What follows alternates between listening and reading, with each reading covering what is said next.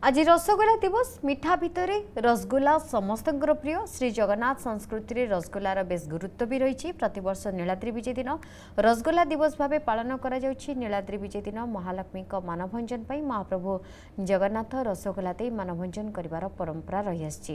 ଏହା ସହିତ ପ୍ରତିବର୍ଷ ଚତୁର୍ଦ୍ଧାମୂର୍ତ୍ତିଙ୍କ ନୀଳାଦ୍ରି ବିଜୟ ଅବସରରେ ରସଗୋଲା ଭୋଗ ଲାଗୁଥିବାରୁ ଏହି ଦିନକୁ ରସଗୋଲା ଦିବସ ଭାବେ ପାଳନ କରାଯାଉଛି।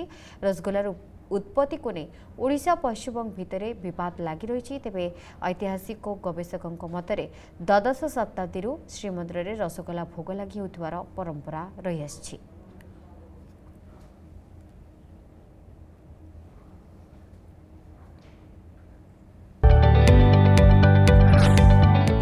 जदि आपंक आम भिडी भल लगा तेब आम चेल्क को लाइक सेयार और सब्सक्राइब करने को जमा भी बुलां नहीं